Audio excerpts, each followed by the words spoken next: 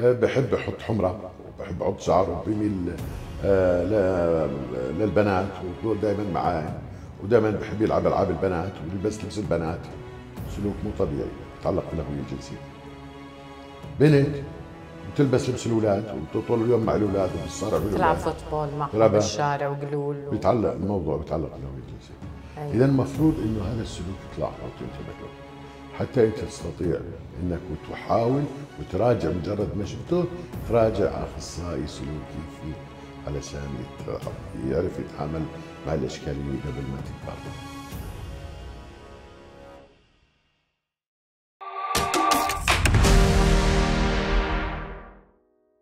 مساكم سعيد متابعينا الكرام برحب فيكم بحلقة جديدة من برنامج سوشو حيث نستكشف وإياكم مواضيع مهمة وحساسة من أرض الواقع.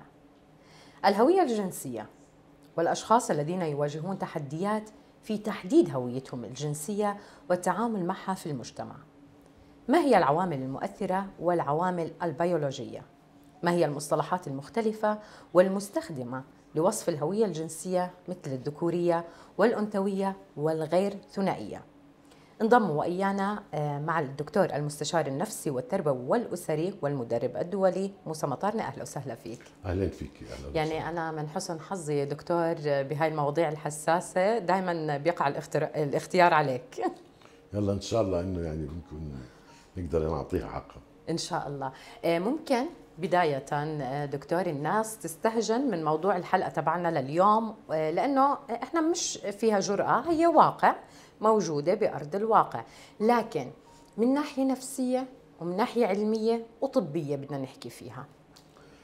آه، أول شيء أهلا وسهلا فيك وفي كل اللي بيشوفونا. موضوع الهوية الجنسية موضوع مصطلح موجود وهو مصطلح نفسي بخص النفس الإنسانية والتغيرات السلوكية اللي بتحدث على الأطفال. وللأسف ما بيتم الانتباه له وبتولد عنده مشاكل أكبر لشخصية هذا الطفل. الهوية الجنسية بتعني أن الطفل يحدد هل هو ذكر أم أنثى. هويته الجنسية يجب أن تتضح وتتضح في الثلاث سنوات الأولى. طيب كيف بنقدر نكتشف هذا الموضوع من من عمر مبكر للأطفال سواء يجب ذكر أو على أنثى؟ كل أسرة أن تهتم في سلوك أبنائها مظاهر السلوك واضحة. في الثلاث سنوات الأولى أو الأربعة الأولى أنت بتلاحظ على ابنك أو بنتك في عنده سلوكيات غريبة. ولد؟ ولد أوكي. ولد آه، بحب يحط حمرة وبحب يحط شعره وبيميل آه، ل- للبنات ودائما معاي ودائما بحب يلعب ألعاب البنات ويلبس لبس البنات سلوك مو طبيعي يتعلق بالهويه الجنسية بنت بتلبس لبس الأولاد وطول اليوم مع الأولاد وبالصارع تلعب بالاولاد فوتبول معهم تلعب- بالشارع وقلول و... بيتعلق الموضوع بيتعلق بالهوية الجنسية أيوة. اذا المفروض إنه هذا السلوك تلاحظه وتنتبه له حتى انت تستطيع إنك تحاول وتراجع مجرد ما شفته تراجع أخصائي سلوكي فيه علشان يعرف يتعامل مع الاشكاليه قبل ما تكبر. أيوة. علينا انه نهتم في حماية ومراقبة أطفالنا. دور الأب والأم في الرعاية إنه را إنه يحمي الأطفال لأنه هذول مسؤوليته في هذا السن. صحيح. لأنه ما عندهم نضوج ما بيعرفوا. إحنا كنا نولد صفحة بيضاء. قاعدة. يعني ما حدش نطلي ويقول لي آه الفطرة. ال- إحنا نولد صفحة بيضاء. نحن نكتسب كل سلوك شيء. يكتسب. يكتسب. نعم. وبالتالي شو بتربي؟ شو في بيئة اجتماعية؟ شو في بيئة م- آه، أسرية؟ بتطلع شخصية. فهذه الشخصية إذا فيها تشوهات هي نتيجة عن هذه التنشئة. وإذا هي سليمة نشئ نتيجة. صحيح. عن هي ما لها. علاقة بموضوع الأعضاء التناسلية هي لها علاقة بالسلوك. طيب دكتور هلأ خلينا نحكي في أنا ناقشت هذا الموضوع أنا وحضرتك قبل هيك قلت لي في شيء في بعض ال- المسميات بيندرج تحت الإحساس وفي آه، مسميات بيكون عنده آه، تجربة سيئة اللي هم خلينا نقول الجاي. هم هدول بيقدر هاي الفئة بتقدر تعالجها. الفئات الثانية كشيميل ليزبيانز إنه ما ما بتقدر إنه تعالجها لأنه إحساس. هلأ في في ال- في الطفولة كل واحد فيهم كان في متعرض لشيء معين. تمام. الجي بتكون تعرض لإعتداءات في الطفولة وبالتالي نتج عنها عنده إحساس باللذة في هذه المواقع وبالتالي ال ال هذه بتحتاج شيء مختلف. تمام. ال- الشمال بيكون هو آه، في نشا في بيئة آه، كلها آه، بنات, بنات خلينا نقول. وبالتالي مال من الطفولة من الصغير للبس البنات وشكل البنات فأصبح يحس حاله بنت صار عنده هذا الإحساس بالأنوثة. فبالتالي بدأ لما كبر ظهر عنده كسلوك وبدأ يعمل له أعضاء للأنثى وشعر يعني مش و- هرمون مش اضطراب هرموني هو. لا مش لو هرموني كان صار له زدر أيوه. على إنه في دكتور هلأ. لأنه بيعملوه قاعدين بيسووا تفصيل. أيوه بالضبط بالضبط. ف- آه، أنا بحب جرأتك في طرح المواضيع دكتور وبطريقه نفسية وصحية وطبية.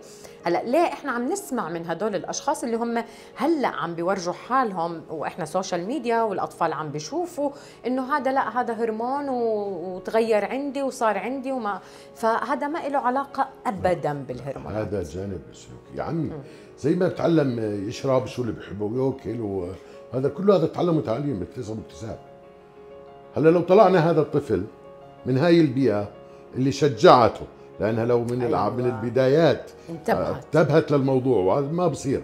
بس هي شجعته ولاقوا في منهم كمان عن العين. بلبسوا العيل بخلوه بضلوا زي البنت ويضربوا له شعره قالوا لا في العين. يصيبهم هم في العين ونخلص هلا ال- القصة إنه المفروض إنه سلوكيات خاطئة نهتم كمان بهذا بالأهل. هاي التنشئة التربية الخاطئة هي اللي بتسبب عندنا هاي الإشكالية. ال- آه، المثلي ناس إنسان حس في الحرمان العاطفي عاش في أيوة. اسره متفككه فيها حرمان عاطفي في بيئة مح- فيها حرمان ولقى إنه الرجل آه، هو اللي. أعطاه احتواه وأعطاه حب وحنان وبالتالي هو أصبح بيميل. اتجاهه أيوة. وميله النفسي لرجل زيه أيوه والبنت نفس الشيء السحاقية كمان بتكون في بطفولتها في بداياتها هي وجدت الحنان ال- ال- الحنان والهذا عند. وعانت من مواقف سيئة كثير خبرات سيئة مع الرجال وبالتالي بدأت كطفلة تميل لنفس جنسها هاي ال ال ال ال الأسباب التنشوية يعني لازم ندرك بأنه هذول الجيل أو هذول المشكل المشكلات السلوكية اللي ظهرت هاي مشكلة سلوكية. هاي اللي ظهرت هي كلها نتاج تنشوي نتاج التربية أيوه نتاج مش مش البيئة لا المجتمعية. لها علاقة والبيئة الأسرية أيوه. هي اللي خلقت عنا هذه الحالة. طيب دكتور هلا اللي إحنا بتعرف social media وإعلام رقمي وإلى آخره كله social media هلا الأهالي بيتركوا حتى الأطفال بين إيديهم هالتابلت هالتليفون هاليوتيوب هلا ما بيعرفوا على شو داخلين. وصار هذا الموضوع منتشر. أنا ليه حبيت إنه يكون حلقتنا لليوم عن هذا الموضوع تحديدا؟ إنه نوضح للأهالي شو هو هذا الموضوع وكيف نقدر نكتشفه في أطفالنا ومين السبب وراء هذا الموضوع. وال social media اللي هي عم بتدمر كيف نقدر نستخدمها مع أطفالنا ونراقب الأطفال بشو عم بيحضروا. بريد أعيد شغلتين. الأساس إنه إحنا ندرك بإنه إحنا في عالم مفتوح. بالضبط. الأساس ندرك إنه أطفالنا عم بيعرفوا شيء أكثر منا إحنا. لأنه العالم قرية واحدة بيفتح النت وبشوف وكلهم هلأ نسولف القصص الفاضية كلهم بيعطوا أطفالهم التلفونات والأطفال صحيح. بيشوفوا كل شيء طيب إيش كيف بدنا نتعامل معه؟ غالي على الأقل يكون عندنا نوع من الوعي الاجتماعي، خلي في وعي عند الطفل، كيف بيجي الوعي الاجتماعي؟ من خلال الحوار. خلي في حوار بين ابنك وأنت وابنك، خلي في تقارب بينكم وحوار وتقبل اراءه وافكاره وناقشها وخليها تأخذ مساحة، بلاش من العصبية وت- وتهبلي وتصير تقول لي هاي أساليب العنف والعصبية والمنع ما حتربي غير. العند عند هاي الطفل. راحت ما أيوة. هلا في ليه؟ لأنه الطفل صار عنده وعي وعنده معرفة كثيرة بحاجة لإنك تقنعه. إذا ما استطعت تقنعه بطر- لا يمكن الرد. عليه. صح. وما في وسيلة إلا الحوار والتوجيه الغير مباشر. أيوه. غير مباشر. الطفل بيستوعب بيقدر يستوعب. لا في سن معين هلا الطفولة مرحلة الطفولة مرحلة استكشاف. الطفل إذا بيستكشف بيتعلم بيسوي بيقلب بيغادر. مرحلة المراهقة استقلال. في مرحله المراهقة الطفل بيستقل بتخلص من مرحلة الطفولة وبنسميها إحنا في طعم اجتماعي بتخلص من العلاقة الطفيلية اللي بتربطه في أمه وأبوه. يعني هم اللي بداقرهم أيوه. لأنه هو بيشعر ان حكوا له توجيهات وتعليمات إنه لسه مفكره طفل. وبقول أنا صرت زلمة. كيف طفل؟ فلذلك لما بصير في هذا الامر خلينا نقول نسميها ديناميت المراهقة. بالضبط. لذلك أنت المراهقة ثورة انفعاليه فبالتالي المفروض أنت تستوعبها. وتحتويها وتبدأ تنميها عنده وتبدأ تعترف بشخصيته وبفكره وتبدأ تتقبله مش تعليمات تعليمات تعليمات تعليمات ما بتجاوب معك. صحيح. حتى يبدأ هو يتقبل الحديث معك علشان تفهم شو اللي بجر في نفسه لأنه في مرحله مرحلة المراهقة الأطفال أو المراهقين بيلجأوا لافاق أكثر بصير يسمع لأصحابه أكثر منك. صح. فلذلك كمان بدك هون تبني إذا ما كان في- أيوة. مع رفاقه مع أصحابه صحيح. علشان تبدأ تسيطر على الموضوع تكتشف تفهم شو بصير علشان تعرف تتعامل معه وتستشير أخصائيين مختصين. إحنا الجهل عندنا في عدم الوعي في متطلبات ال- المراحل العمرية في خصائصها النمائية. هاي بتخلي الأسرة ما عندها معلومات فبتتصرف أحيانا خطأ مقابل السلوك. طبعا كنا بنحب أولادنا وكنا بدنا كويسين أكيد، بس أحياناً يكون- عدم الوعي في الأساليب الصح اللي ممكن نتعامل معها والطرق والحل قد يخلق عنا اضطراب بالهوية عنا. اضطرابات مختلفة. أكيد. لذلك رح رح أرجع لك دكتور بس نطلع فاصل وأكيد مكملين مع حضرتك متابعينا الكرام. خليكم معنا بفاصل وراجعين.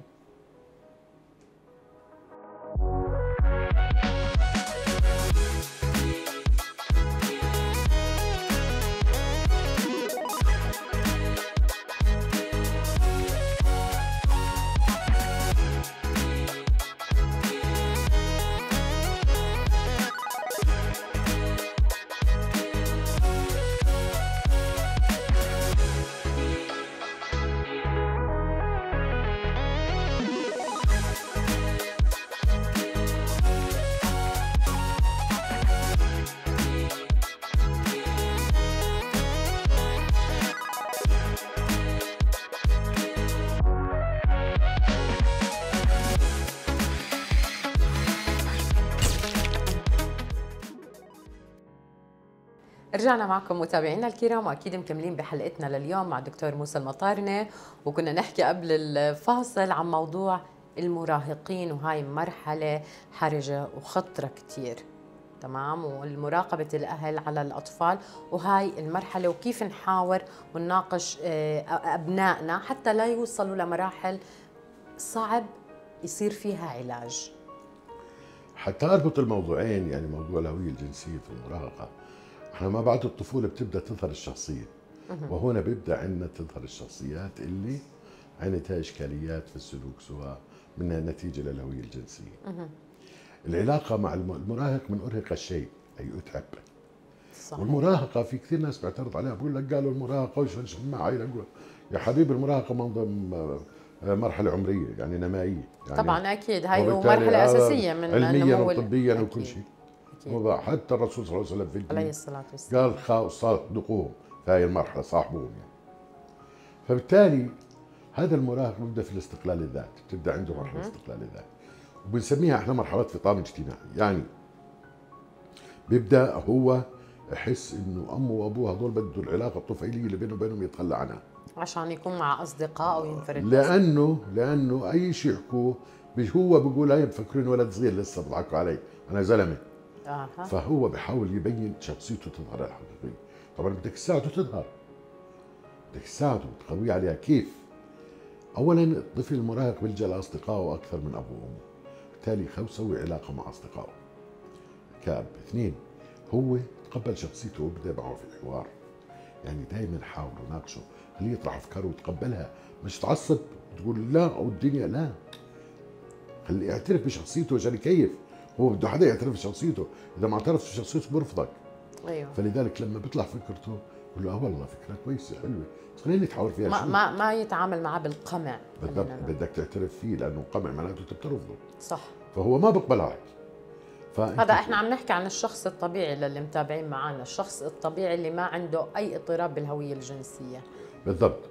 فبالتالي أنت ابدأ تقبل هذه الشخصية تقبل هاي الأفكار وناقش هاي الأفكار.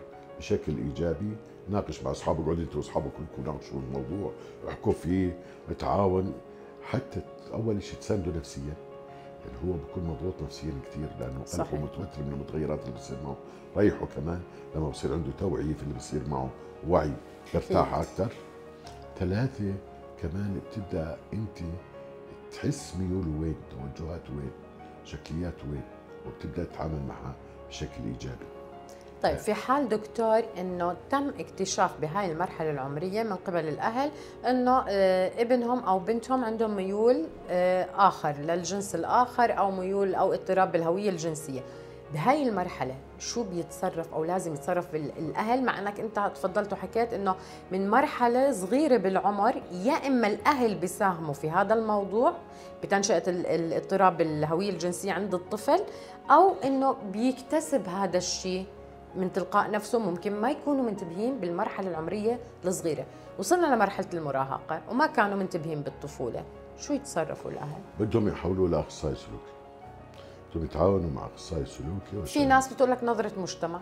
لا سرية ما يعني الأخصائي السلوكي أمين على الأسرار وأخلاقيات مهنته بتمنعه يحكي. وبطريقة سرية مش بالضرورة يطلعوا العالم يحكوا للعالم يعني. تمام. آه يراجعوا الأخصائي السلوكي آه، مع الطفل.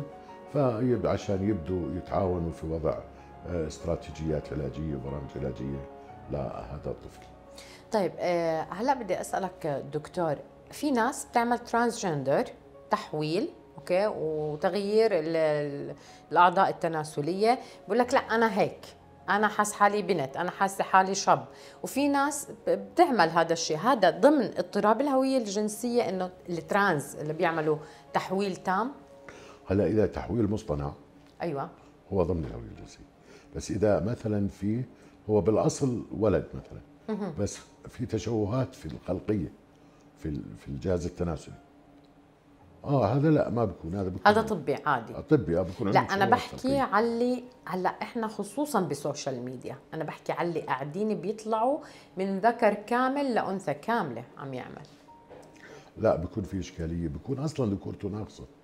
لا يمكن تكون هيدي شوفي العملية التحويل لا يمكن يكون في آه، هو حقيقة بيكون عنده تشوهات لابد أكيد. طب هون المجتمع يتقبلهم أو يرفضهم؟ يعني هذا سؤال كثير مهم. هلا إذا إذا هي الموضوع تشوهات خلقية وجسدية المفروض يتقبلهم المجتمع ليش ما يتقبلهم؟ شخص عنده تشوه زي ما ان يكون عندي تشوه في راسي ولا في عيني ولا في ايدي وهذا التشوه تصلح أوكي. وين يعني هو جانب يعني إذا الجانب عضوي. هلأ إذا الجانب نفسي مختلف. أيوة. والمجتمع شو الاختلاف؟ هلأ بدي أعرف شو الاختلاف وشو شو نظرة المجتمع لل... هذا الجانب النفسي أنا بتوقع يعني ما عندي اطلاع في الموضوع لكن بتوقع إنه الجانب النفسي ما بيقدر. يعني يتحول لكامل. كجانب نفسي. صعب, صعب. أيوة.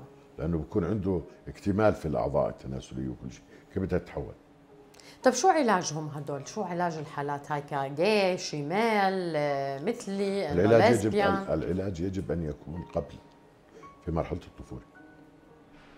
وإذا كان ما حدا مكتشف هذا الشيء عند ابنه أو بنته بمرحلة الطفولة شو بيعمل؟ بياخذ وقت أكثر بيتعالج أو لا؟ باخذ وقت أكثر في ضمن علاج مؤسسي يعني علاج قائم على برامج مؤسسية. غير هيك؟ غير هيك هو بيكون هاي الشخصية موجودة. وأغلب الشخصيات هاي اجمالا يعني إذا إحنا بدنا نتكلم بصراحة أكثر كلها بتكون أصلا هي تعاني من تفكك أسري. يعني إذا بتسهر بتلقى ما حدا حواليه يعني بتلقاه ولا حاله عايش. صحيح. فبالتالي الأغلبية بيكونوا نتاج, نتاج بيئة أسرية معينة هو وجدت عنده هاي الحالة. وبالتالي ما حدش مهتم فيه ولا حدا. فهو وجد لنفسه شخصية خاصة فيه واقتنع فيها وخلص مو مستعد يتقبل أي شيء أصلا غير هيك. أيوه أيوه أيوه. طيب هلأ كأطباء نفسيين دكتور خلينا نحكي وإحنا مجتمعات عربية وإنت بتعرف أكيد كمجتمع عربي أي مجتمع عربي دائما عندنا النظره نظرة الرفض لكل موضوع ما بنقدر نتفهمه كأنه هاي جانب نفسي مش ظاهرة مثلا خلينا نقول ولا بنشجع على المثلية ولا بنشجع على التحولات ولا بنشجع. إحنا بنحكي في علم هلأ. آه، مثلا بيجوا إنه نظرة المجتمع نفسها إنه بقول لك لا أنا ما ما بدي أورجي ابني للمجتمع أو في ناس بتقبلوا ابنهم أو بنتهم بهذا الوضع. شو رأيك باللي يعني أنتم كجهة توعوية؟ ما فكرتوا تعملوا شيء فعليا برنامج توعوي للمجتمعات العربية؟ أول شيء أنا مو دولي عشان أعمل برنامج توعوي أنا بقدم رسائل كل يوم بعطي أيوة. أيوة. فيديوهات اللي علي بقدر عليه بسويه لأنه أنا إحنا بنفقد هذا الشيء دكتور إحنا بنفقد التوعية بهاي المواضيع الحساسة هاي بدها استراتيجيات على مستوى دولي مش أيوة. على مستوى أفراد آه لكن أنا انسانيا ما بقدر أقول إلا إنه أنا بتقبل أي إنسان وهذول موجود اختلاف في الثقافات واختلاف في البيئة الاجتماعية. في بيئات اجتماعية متقبليتهم عادي وفي بيئات صحيح. اجتماعية لا وفي ثقافة متقبليتهم عادي وفي ثقافة لا. وهي بتختلف من جهة لجهة. آه كل كل واحد عنده رأيه وكل واحد عنده لكن أنا شخصيا بالنسبة لي آه، أؤمن بالإنسان كإنسان بغض النظر عن شكله ولا نوعه ولا جنسه ولا فكره ولا شو ما كان. أنا زلمة أؤمن بالإنسان كإنسان. كإنسان بغض النظر عن أي شيء تاني لأنه هاي مهنتي وهاي رسالتي وهذا عملي. طيب آه، دكتور هيك رسالة أخيرة لكل اللي عم بتابعنا ضمن عنوان حلقة اليوم. بتمنى نكون إنسان. الإنسان اللي هو الأنس. الإنسان اللي هو المحبة. الإنسان اللي هو الود. الإنسان اللي هو الطيبة. الإنسان اللي هو العطاء. الإنسان اللي هو مساند الإنسان اللي بيعطي بدعم أخوه الإنسان لأنه إنسان. أيوه. بتمنى إنه يسودنا روح بعيدة عن الحسد والبغضاء والحقد الأمراض النفسية والتشوهات هاي. بتمنى إنه كل أب وأم وأسرة تهتم بأطفالها ويهتموا ببعض أولا. هي أهم رسالة. حتى. نشكل أسرة قوية وسليمة بنفس متحابة الوقت. سليمة وبالتالي نشكل مجتمع معطاء مبدع قادر على النجاح والتوفيق. بتمنى إنه نرسخ مفاهيم إنسانية عميقة جواتنا ومفاهيم دينية صحيحة حتى نستطيع إنه نحقق مجتمع الرفاه والسعادة. إن شاء الله. بشكرك دكتور وبشكر وجودك معنا كمان كضيف دائما مميز. وإن شاء الله أكيد في حلقات جاية بمواضيع جديدة وحساسة برضه شكرا لك شكرا لكم ويعطيكم العافية. الله يعافي قلبك دكتور. كل الاحترام لك وأكيد متابعينا الكرام بنشوفكم بحلقة جديدة من برنامج سوشو